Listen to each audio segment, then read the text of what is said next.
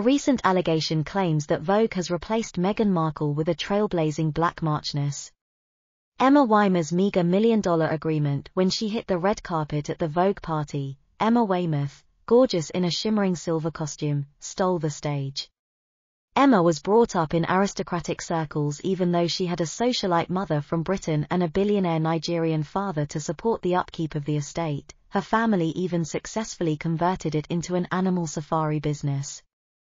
Emma is more alluring than simply being stunningly gorgeous, she's also a talented writer. She is not just a celebrity icon, but she also regularly writes her own articles and has even modeled for prestigious fashion publications with celebrities like Stevie Wonder. Emma was advocating a different perspective at a time when Meghan Markle regularly exploited her ethnicity as a bulwark in her conflicts with the British royal family. In sharp contrast to the divided rhetoric, Emma advocated in defense of authentic feminism, claiming that feminist women do not utilize their ethnicity as a means of popularity or to disparage other cultures. Emma shared their hopes for a day in the future when her skin tone wouldn't be an identifying trait. Her responsibilities as a wife, mother, and caretaker of the magnificent Longleat estate were highlighted. With the new million-dollar contract Emma recently signed with Vogue, a number of intriguing ideas are now possible.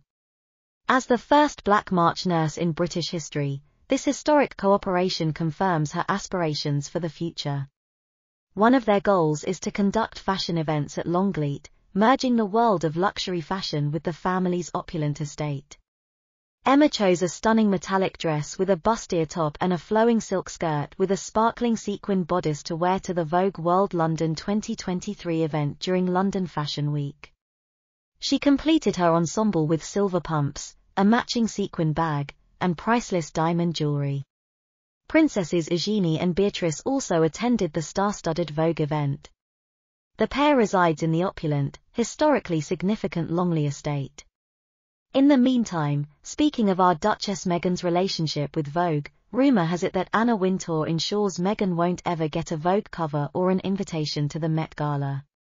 This comes after Meghan spoke with Vogue magazine last year about the United States Supreme Court's decision to strike down the right to abortion. The former American changed her name to Duchess of Sussex when she reposted the article.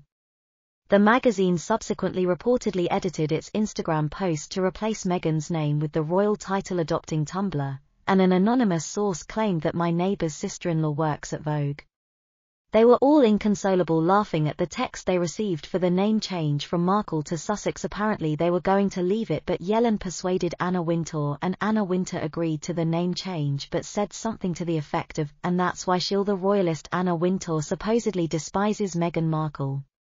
No one wants Lily or Archie on the cover, instead, everyone wants Charlotte for future issues of British Vogue, and Anna wants Catherine back, according to a different source.